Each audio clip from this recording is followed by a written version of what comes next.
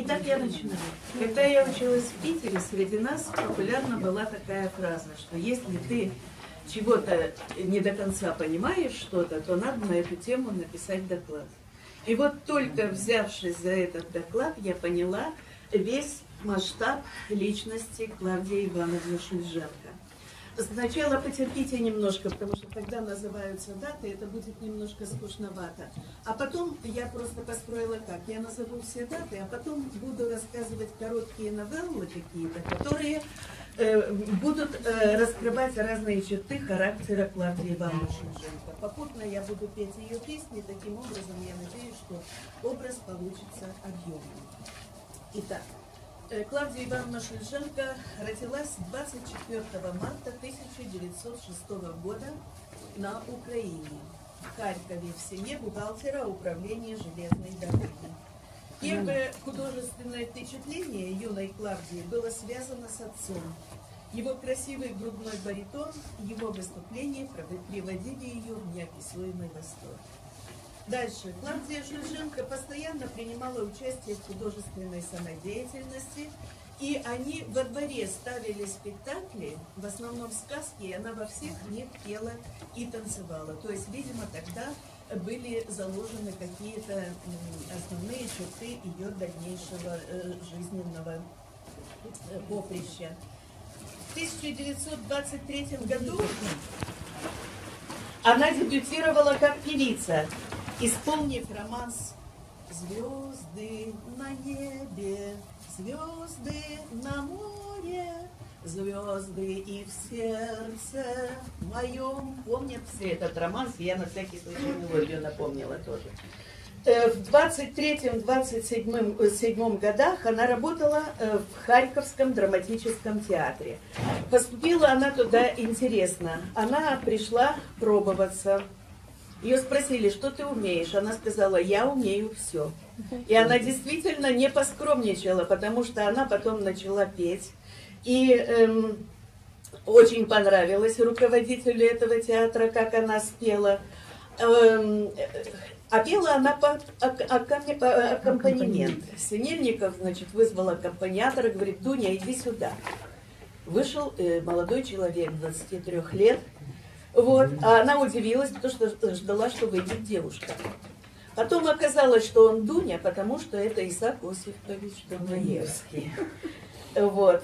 И э, потом, весной 28 -го года, Шульженко э, в Ленинграде в Мариинском театре приняла участие в концерте для журналистов «День печати». Вот. Э, и вместо трех песен, которые планировались, ей пришлось спеть семь, потому что публика не отпускала.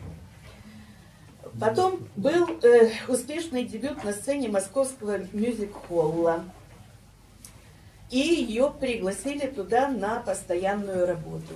В одном из спектаклей она э, играла главную роль вместе с Утесовым. Пьеса называлась «Условно убитый». Она, э, этот мюзикл, в общем-то, название довольно странное, но если знать о содержании, то ничего странного нет, потому что там рассказывалось о том, как во время воздушной тревоги нужно себя вести, и если ты, значит, не соблюдешь все правила, то окажется, что ты условно убитый.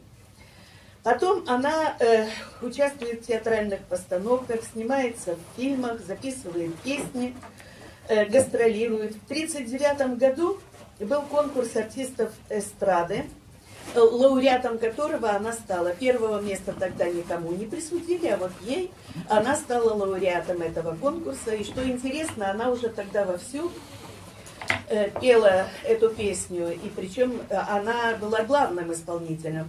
Ай-яй-яй-яй, что за девчонка, парам парам парам Вот. А потом, когда оказалось, что вот уже идет конкурс, оказалось, что эту песню почти все участницы э, включили в свой репертуар. Но, конечно же, она оказалась э, вне всякого сравнения, вне конкурса.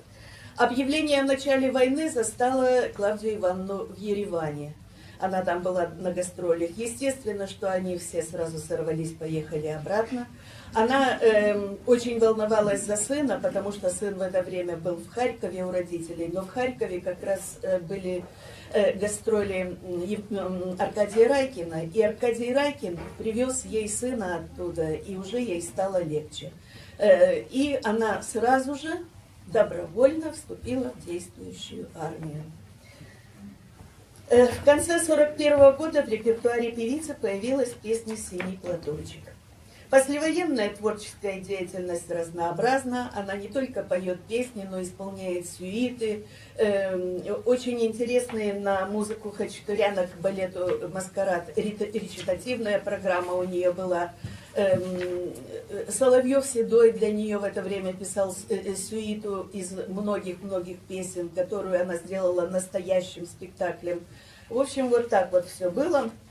Потом я подробно расскажу. Э, сотрудничает она, продолжает и с Дунаевским, которым дружила всю жизнь. Он для нее специально написал письмо матери и школьный вальс.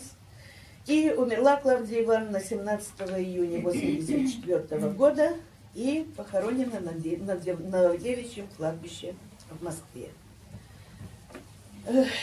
Ну, теперь истории.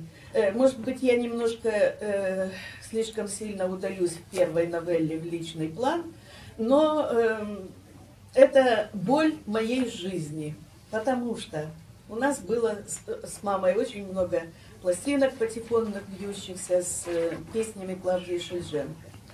Вот. И я слушала их без конца.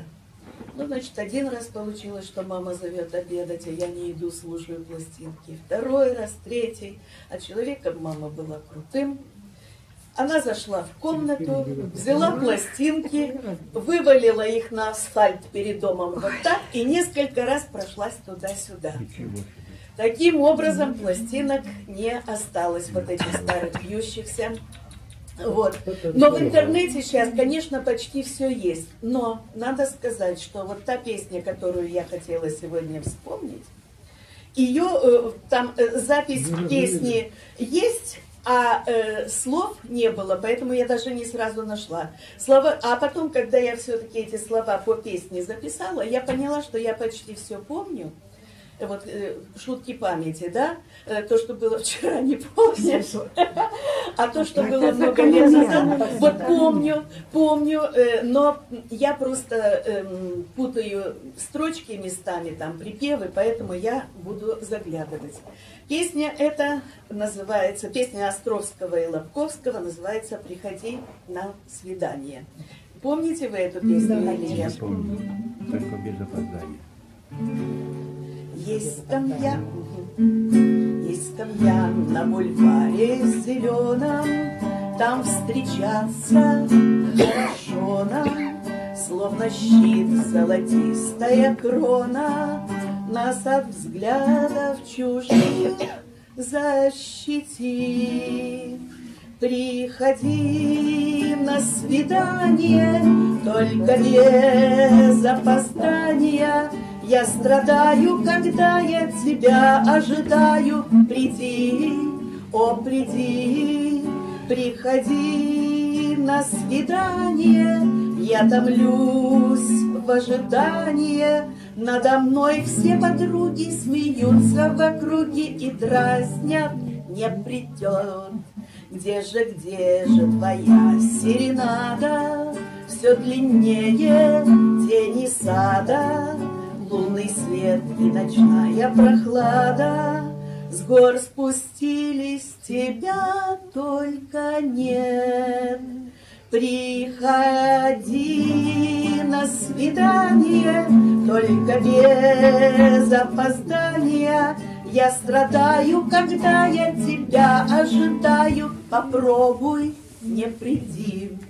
О, приди хоть на две-три минутки, Знай со мною плохие шутки, Тщетно жду я тебя третьи сутки. Не придешь? Так к тебе я приду. Приходи на свидание, только без опоздания. Я страдаю, когда я тебя ожидаю. слышу, ты идешь.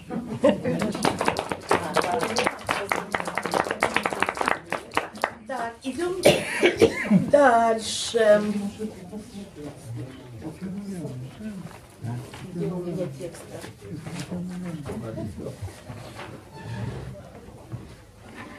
Э, Клавдия Ивановна э, была скромным человеком, но она знала себе.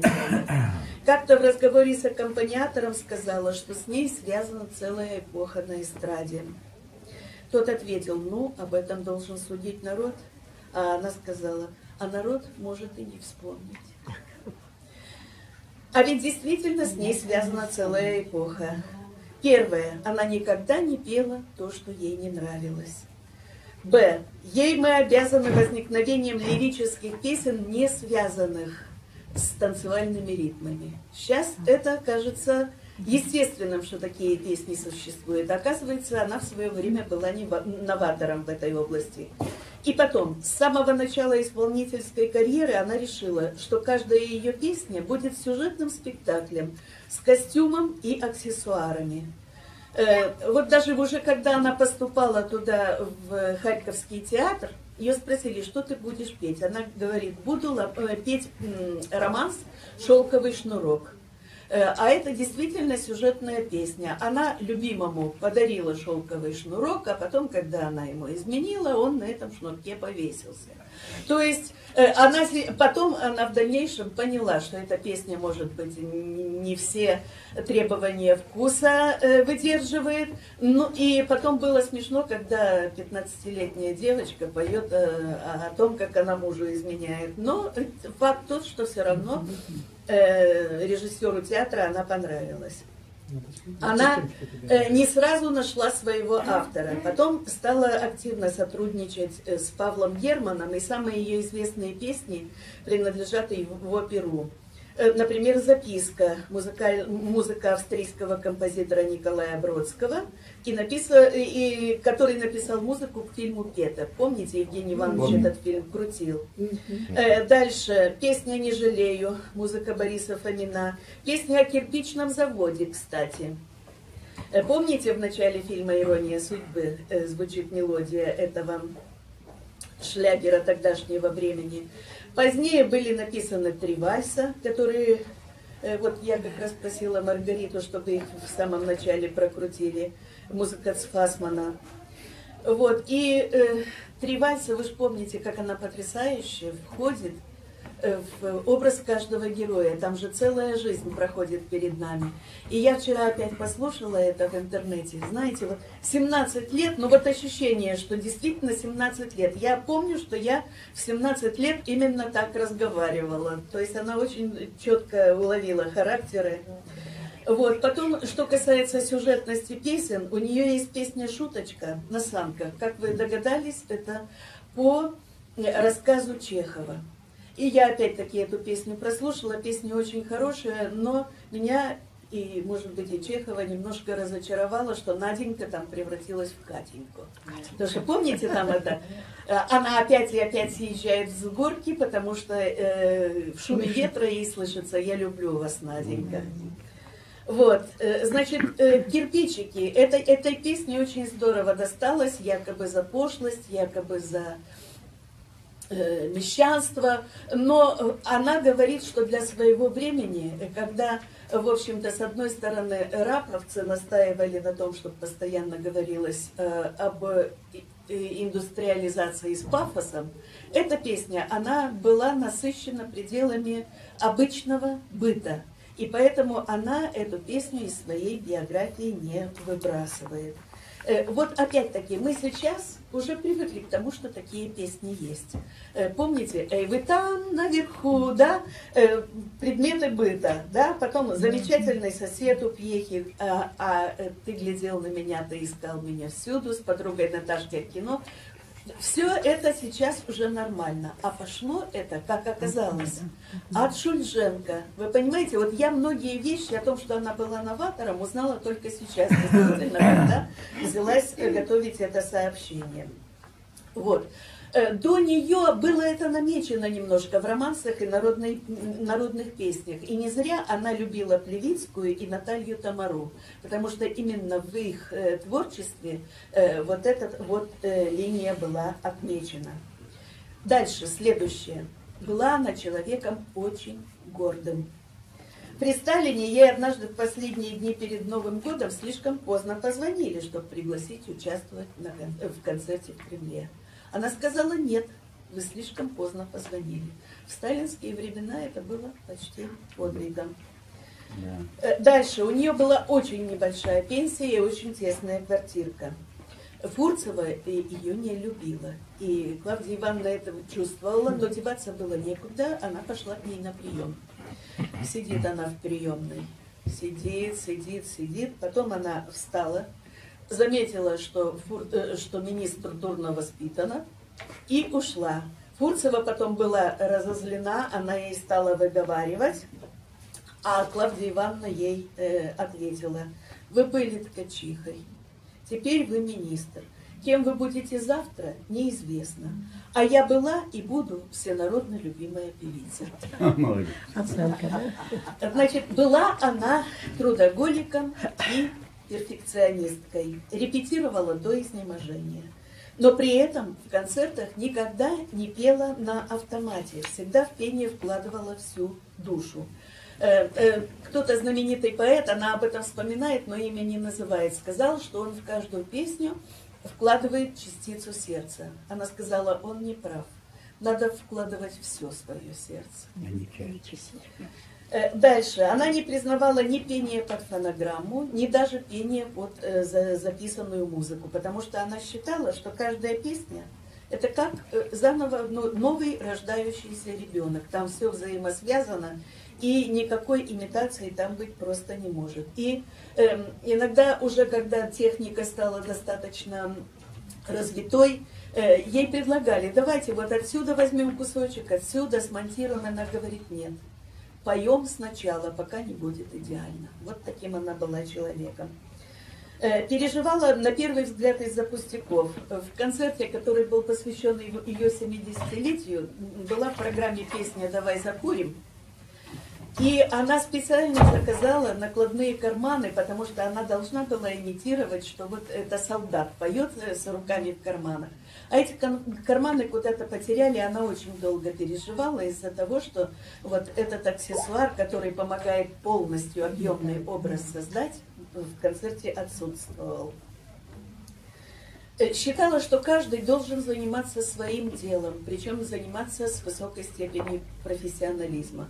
Когда ей предложили вот эту вот книгу написать, она сказала, каждый должен делать свое дело. Я не писатель, я хорошо не напишу. И она эту книгу Глебу Скороходову, все помнят это имя, да, очень да, талантливый да, киновед, искусствовед, вот она ему эту книгу надиктовала, и он потом уже э, привел там в порядок. Но там, где он пишет от себя, там сразу заметно, потому что совсем другой стиль. Э, и что касается перфекционизма, последнее замечание. Ее первая роль в спектакле была какая? Актриса играла Настасью Филипповну в «Идиоте», но актрисе не хотелось оставаться на второе отделение, терять время.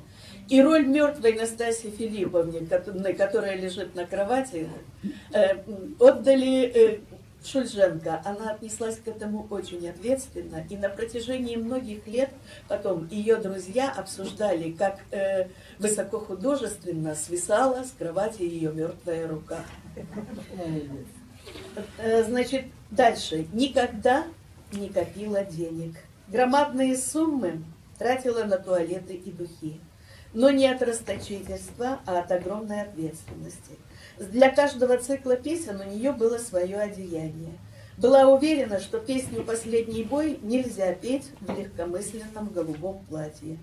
Вкус и чувство меры у нее были отменные – она оценила э, талант э, Вячеслава Зайцева, когда он еще никому не был известен.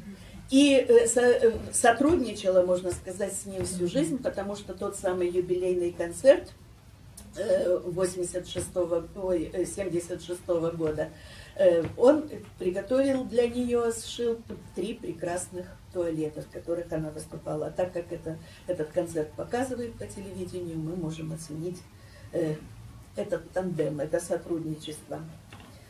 Ну, а чтобы оценить ее вкус, достаточно э, вспомнить, э, э, в каких туалетах она пела песню на тот большак на перекресток, потому что само слово большак и то, что там говорится, что с любой тропинкой хочется дружить, э, говорит о том, что песня деревенская. И вспомните, в каком наряде Пугачева пела эту песню. То есть э, это вот короткая пачка э, и розовый лифчик жесткий – и вот в этом наряде она пела песню на тот большак на перекресток. Я понимаю, что это субъективно, и что Пугачева очень талантливый человек, но меня этот костюм, например, оттолкнул, когда я слушала эту песню. Э, я сейчас эту песню спою, а вы мне подпоете. Помогайте, пожалуйста, искать.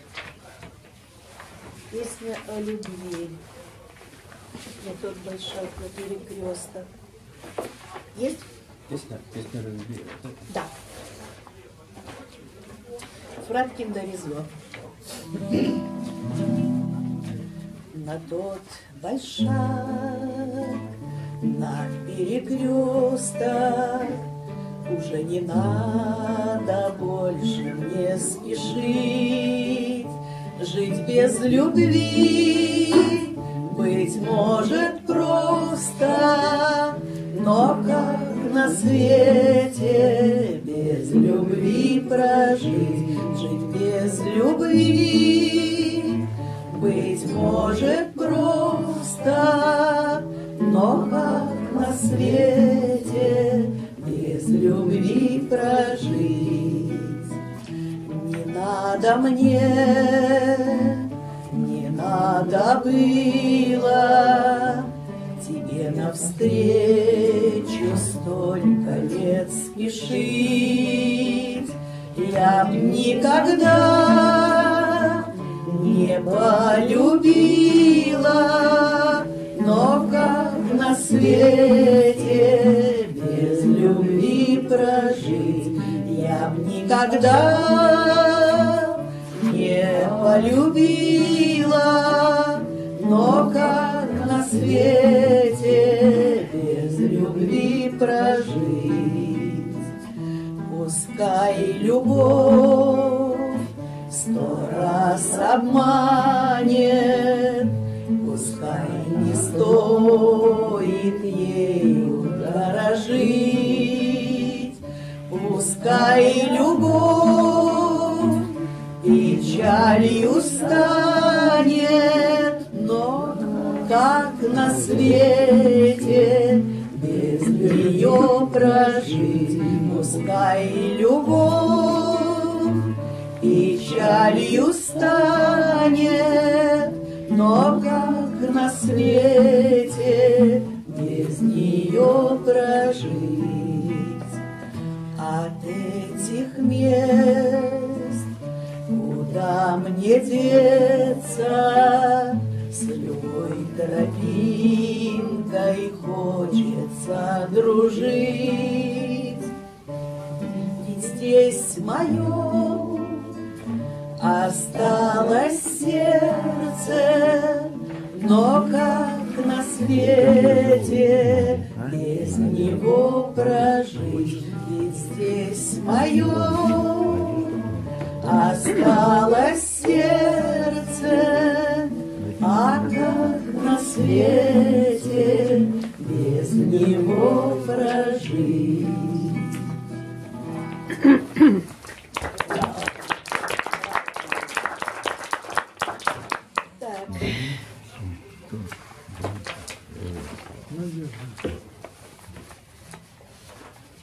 Она никогда не гналась за дешевым успехом, за вспышками массового психоза, как она это называла. Видела, где настоящий талант, успех, успех которого не случайен. Вот она, например, сравнивала Макса Линдера и Рудольфа Валентина, э, актеров немого кино, И она понимала, что Валентино не талантлив, а Макс Линдер талантлив. Но, говорит, э, экран делал свое дело, плодил кумиров, даже иногда, если это не очень заслуженно. Она недоумевала, почему за певцом Рафаэлем, помните, он приезжал, девицы гоняются с визгом. Говорила, что Пугачева, кстати, очень талантлива, умеет быть яркой и сдержанной, посовет... но советовала быть строже к себе и с большим вкусом формировать репертуар и не гнаться за криками моды. И сама за модой не гналась. В период, когда господствовали раповцы и рапмовцы, э, которые любовь э, объявляли разложением и мещанством, а лирические песни говорили, что порождают дряблые ощущения и вредный индивидуализм, предпочитала лучше петь мало и петь народные песни, чем марш индустриализации. Я позволю себе привести отрывок марша индустриализации, чтобы вы поняли, почему не хотела по самым медвежьим округам до самых незнаемых зон взрыхляет отточенным плугом колхозную землю форт-зон. И в самой медвежьей округе, и в самом убогом селе Поможем рожать без натуги беременной хлебом земле. Она отважно и самоотверженно вела себя в период Великой Отечественной войны. На каких только импровизированных сценах она выступала, часто под обстрелом, часто под обстрелом, под обстрелом приходилось э, пробираться к месту выступления. И что интересно, сначала она, как боец армии, выступала в форме а потом ее просто много раз просили о том, чтобы она все-таки выступала в концертном платье. И она это делала. Э, значит, э, за вот самые тяжелые годы 500 концертов она дала это, со своим оркестром. Это что-то потрясающее. Иногда был такой мороз, что к кнопкам трубы приставали э, пальцы музыкантов, э, губы обдирали они. Э, петь было очень тяжело, просто спирала грудную клетку, но тем не менее вот эти концерты были даны. Она на всю жизнь запомнила букетик цветов, который связистки собрали ей на обстреливаемой нейтральной полосе. Блокаду прожила в Ленинграде, Наградой за один из концертов были кусочки хлеба и э, не весь откуда взяв, взявшихся шпротинок, от которых каждый зритель э, отломил для нее по кусочку. Конечно же, заслуживает внимания история песни «Синий платочек». Песня эта фактически рождалась трижды, можно сказать.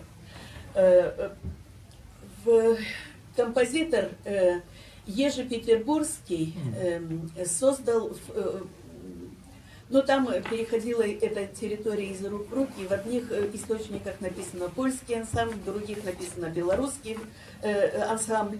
Ну, в общем, этот Ежепетербургский написал э, песню вот на тот мотив, который мы все знаем. И группа «Голубой джаз» эту песню исполняла. И я, когда спою эту песню, я спою именно на те э, слова, Э, которые были еще в мирное время, в сороковом году придуманы.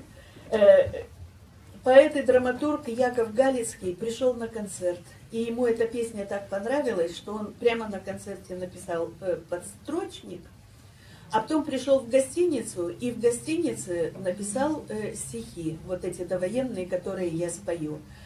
А потом, когда Клавдия Ивановна стала эту песню на фронте исполнять, Э, значит, э, у очень многих возникало желание как-то переделать эту песню, э, чтобы военные реалии там отразились. И однажды к ней краснее подошел лейтенант, лицотрудник одной из газет, эм, Михаил Максимов, и предложил слова. А ей эти слова очень понравились. Эти слова мы все знаем, что письма твои получаю, слышу твой голос живой, и между строчек синий платочек снова встает предо мной.